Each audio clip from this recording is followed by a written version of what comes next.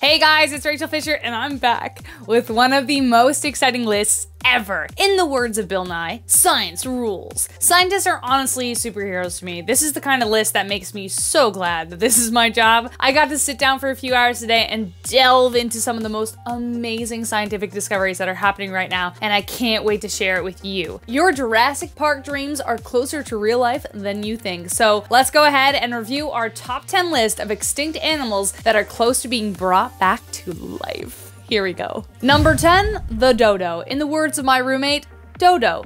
Classic. Perhaps one of the most infamous extinctions known to man was that of the dodo bird. When humans met the dodo bird, they were literally eaten to death within 80 years, I think, of their discovery. They were easy to catch, and as their name suggests, they weren't they weren't the smartest. But guys, there are some really exciting things happening in the world of genetics, and finally, scientists are on the way to bringing them back. After collecting various DNA samples in January 2016, the University of California announced they have completed the genome sequence of the dodo bird, opening a variety of doors. With this new information, scientists may be able to recover enough DNA to create a clone to implant in the eggs of the closely related modern pigeon. Oh. Number 9. The Thylacine. The story of the last known thylacine or Tasmanian tiger is very sad. His name was Benjamin, and after thousands of his species were eradicated for fear that they'd eat Australia's cattle, he was the last one left. He was a resident in the Beaumaris Zoo in Hobart for a while, until one night, out of neglect, they didn't let him back into the kennel. He died of exposure, and his body was thrown into a dump. So sad. But Michael Archer believes we owe it to Benjamin to bring him back. There is one surviving sample of the that was pickled, pickled in alcohol. Unfortunately, some of the samples were contaminated by careless human DNA, so people reaching in going, ooh, look, it's so weird, and then dropping it back in. But the teeth contained viable samples. In fact, they were able to splice the thylacine cells successfully with a mouse. Archer even argues that should we be able to bring them back, that they could thrive in the Tasmanian ecosystem still, as not much has changed. As we will discover on this list, there's a lot we can do now when it comes to cloning, so it is only a matter of time before we see them again. Number 8.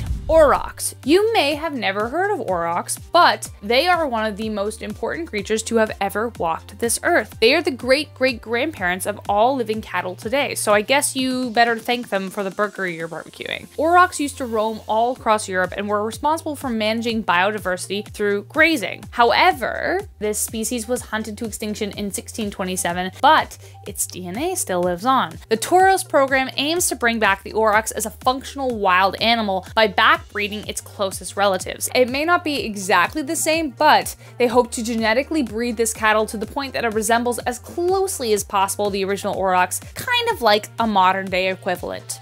Number seven, the ground sloth. Somebody warn Kristen Bell because I don't know if she will actually be able to handle this. The ground sloth was a massive version of the sloths we know now that existed around 8,000 years ago. Imagine a sloth combined with a giant bear. Hmm.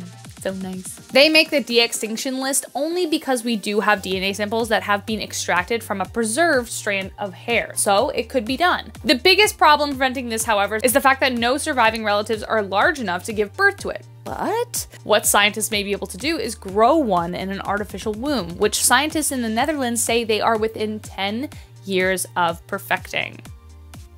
Number six, the Steller sea cow. When I say sea cow, you might imagine the slow and lovable manatee, and you're not entirely wrong. They kind of look like a cross between a manatee and a sea lion. The Steller sea cow is an extinct Sirenian marine mammal which is in the same order as the manatee. It used to live in the North Pacific Ocean during the Pleistocene and Holocene epoch and was last discovered in 1741 by the Vitus Bering's Great Northern Expedition, but disappeared by the end of the 18th century. Scientists estimate that climate changes as well as Paleolithic human hunting may have been the reason the numbers were already so low even before Europeans made the last strike. Like some others on this list, however, scientists were able to sequence the genome, which could mean we may see these creatures again one day. Number five, elephant shrew. It may surprise you to know that though a lot of big awful things might have happened, some good did come out of 2020. The elephant shrew is just one tiny but apparently mighty example. For just over 50 years, not a single elephant shrew had been spotted, which led scientists to believe that sadly this little long-nosed mouse was a lost species. Since the 1970s, any information derived from the species was found through examinations of historic specimens.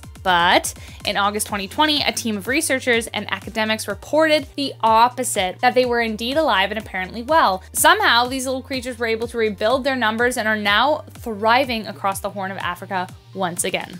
Number four, the woolly mammoth. Since the film Ice Age came out, I'm sure a lot of us can't picture the animal without imagining like Ray Romano's voice along with it because that's what we do. But eventually, we may not have to use only our imaginations to see real life woolly mammoths. Mammoths preserved in the permafrost in Siberia have given paleogeneticists enough data that they have been able to sequence the woolly mammoth genome, which we already know is super important. With this data, they may be able to clone the creature or edit the genetic material to its closest living relative, the Asian elephant. But it gets even cooler than that. In 2019, scientists from Japan and Russia announced a significant step towards this goal. They were able to bring cells of the woolly mammoth back to life. They were able to recover cells from the hind leg of a juvenile mammoth they found in Siberia that was uncovered in 2011. They successfully implanted 28,000 year old cell nuclei into mouse cells. So, though we may be very far off from actually seeing a mammoth, the kind of technology that's being developed here is astounding. Like, it's so cool. Scientists hope that they can use this technology to help prevent whole species from disappearing forever. Bringing back the woolly mammoth has a lot of scientific and ethical boundaries that need to be addressed. For instance, there's social creatures you'd need to bring back a whole herd. How would you introduce them back into the wild? Yada, yada, yada. But how cool is it that extinction in the future may rarely happen again if we can master this technology? Number three, the gastric brooding frog. The cooler name of this amphibian is the Rheobatrachus, which were a kind of ground-dwelling frog native to Queensland, Australia. It was one of two known frog species that was capable, okay, of incubating their offspring within their stomach of the mother. She would swallow her own eggs, her stomach would stop making hydrochloric acid to avoid digestion, and transform her stomach into a womb, essentially. When the anywhere from 20 to 25 tadpoles hatched, the mucus from their gills kept the acid at bay, which was super exciting for scientists because then they could figure out how to do that in humans if they were able to study them. But unfortunately, these frogs disappeared almost as soon as they were discovered. Unfortunately, both species of this weird and wonderful genus became extinct around the mid 1980s, but but the scientists, a part of the appropriately named Lazarus Project, plan to bring it back to life. Previous cell samples of the species collected prior to the 1970s have been preserved for 40 years in a conventional freezer. In 2013, Professor Mike Archer and his colleagues announced they were able to successfully grow early stage cloned embryos containing DNA from the gastric brooding frog. Though it's taking longer than a couple years, the Lazarus Project is still on track to bring this unique creature back to life. But it's also important to note that frogs across the world are dying from the deadly chytrid fungus, and this technology could save them all. Number two, the quagga. So they actually have brought this back, kind of. The quagga was a type of zebra that used to roam South Africa in herds before European settlers killed them all. But now scientists in Cape Town figured out how to bring them back. Quaggas had stripes very similar to zebras, but they only appeared on the front half of their bodies and are brown along the rear. Eric Harley, the project's leader, discovered that the key to bringing back this animal was through genetics, of course, as we, we know now. By testing quagga skins, they discovered that they were actually a subspecies of the zebras we know and love. Therefore, it could be possible to manifest the genes through selective breeding, and they were right. They are now in the fifth generation of the breeding process and already there are less and less stripes and the appearance of a brown color. The next step would be to see if they can exact the pattern and behavioral differences between the quagga and zebras, not just the coloring. So they still got a long way to go, but really cool. Number one, the Pyrenean ibex. So technically, this is the only species to ever go extinct twice. The Pyrenean ibex, or Picardo, became extinct back in 2000 when a fallen tree fell on the last female Celia.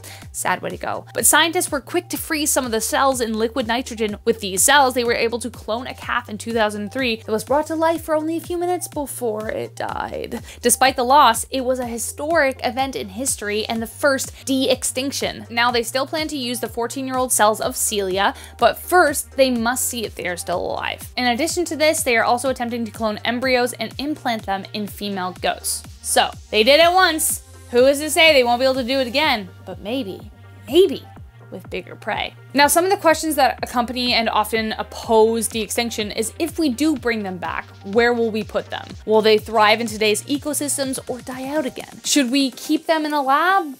That's no way to live. If we put them in a theme park, well, we all know how that went with Jurassic Park. What do you guys think? Let us know in the comments your thoughts on resurrecting these extinct beings. And as always, like and follow for more. If you like this video and want to see more like it, you know what to do. Do the thing! Awesome. Anyways, guys, I've been your host, Raechel Fisher. And before I go, if you want a book that you can read that talks more about extinction and kind of how we interact with it, this book by Elizabeth Kolbert, The Sixth Extinction, is awesome and I can't recommend it enough. And until next time, guys, take care.